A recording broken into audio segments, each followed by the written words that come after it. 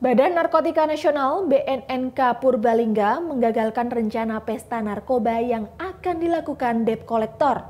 Seorang pelaku ditangkap sementara tiga lainnya masih dalam pencarian.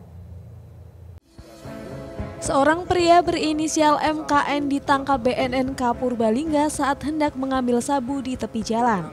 Sabu yang diambil tersebut rencananya akan digunakan pria yang bekerja sebagai debt collector bersama tiga rekannya untuk pesta sabu. Berawal dari informasi yang masuk ke BNNK, petugas melakukan pengintaian di tempat yang disinyalir sering terjadi transaksi narkoba.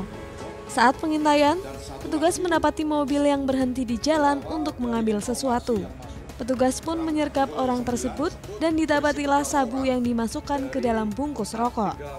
Jadi yang bersangkutan memang melalui apa ini rekening dan sebagainya, transfer dan sebagainya, kemudian tempat di alamat barang uh, uang dikirim dan ya memang seperti itu barang dari mana ini adalah online ya online, online. ini adalah jaringan yang anu kami belum belum ini secara pasti pada saat penyergapan tiga orang teman tersangka yang berada di dalam mobil langsung kabur.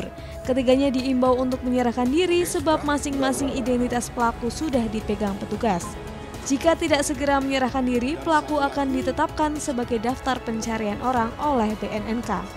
Bayu Nur Sasongko melaporkan untuk NET.